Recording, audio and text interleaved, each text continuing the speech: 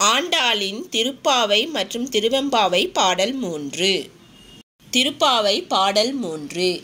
ஓங்கி உலகளந்த உத்தமன் பேர் பாடி நாங்கள் நம் பாவைக்கு சாற்றை நீராடினால் தீங்கின்றி நாடெல்லாம் திங்கள் முப்பாரி பெய்து ஓங்கி ஓங்கு பெருஞ் சென்னல் ஊடு கயலுலக பூங்குவலை போதில் பொறிவண்டு கண்படுப்ப தேங்காதே புக்கிருந்து சீர்த்த முளை பற்றி வாங்க குடம் நிறைக்கும் வள்ளல் பெரும் பசுக்கள் நீங்காத செல்வம் நிறைந்தலோர் எம்பாவாய்.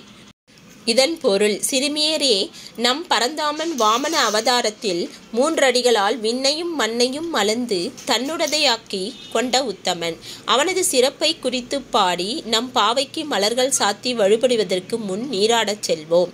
இந்த விர விரதமிருப்பதால் உலகம் முழுவதும் மாதம் மும்மாறி மழை பெய்து தண்ணீர் இல்லாத குறையை போக்கும். மழை காரணமாக வயல்களில் சென்னில் சென்னல் செழித்து வளரும். மீன்கள் வயலுக்குள் பாய்ந்தோடு மகிழும். குவளை மலர்களில் புள்ளிகளிலுடைய வண்டுக்கள் தேன் குடிக்க வந்து கிறங்கி கிடக்கும். வள்ளல் போன்ற பசுக்கள் பாலை நிரம்பத் தரும். என்றும் வற்றாத செல்வத்தை இந்த விரதம் தரும். திருவெண்பாவை பாடல் மூன்று.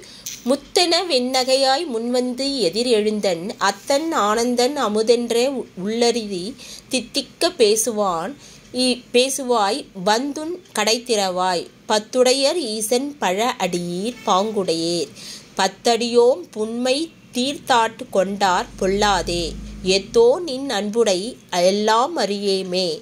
சித்தம் அழகியார் பாடாரோ நம் சிவனை இத்தனையும் வேண்டும் நமக் நமக்கேலோர் எம்பாவாய். இதனுடைய பொருள் வந்து முத்து பற்கள் தெரிய சிரித்து எங்களை மயக்குபவளே கடந்த ஆண்டுகளில் நாங்கள் வந்து எழுப்பும் முன்னதாகவே நீயே தயாராக இருப்பாய். சிவனே என் தலைவன் என்றும் இன்ப வடிவின் என்றும் இனிமையானவன் என்றும் தித்திக்க தித்திக்க அவன் புகழ் பேசுவாய்.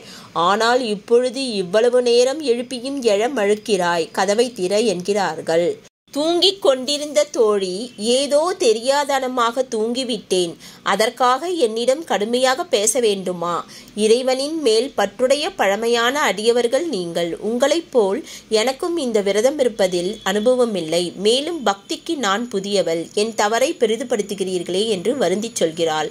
வந்த தோழியாரோ அவளிடம் அப்படி இல்லை அடி. இறைவன் மீது நீ வைத்துள்ளது தூய்மையான அன்பென்பதும் தூய்மையான மனம் படைத்தவர்களாலே சிவபெருமானை பாட முடியும் என்பதும் எங்களுக்கு தெரியும். நீ சீக்கிரம் எழ வேண்டும் என்பதாலேயே அவசரத்த அவசரப்படுத்துகிறோம் என்றனர்.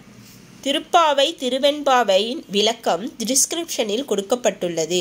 அதை பார்த்து தெரிந்து மகிழுங்கள்.